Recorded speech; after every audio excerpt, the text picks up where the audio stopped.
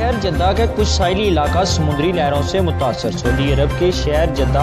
कोरनेश पर मंगल को अचानक समुद्री बुलंद लहरों से साहिल का कुछ इलाका मुतासर हुआ, जिसके पास महसूस इलाका ट्रैफ़िक के लिए बंद कर दिया गया। और ट्रैफ़िक पुलिस की जानब से कोरनेश के मुतासरा इलाके की तस्वीरें भी जारी की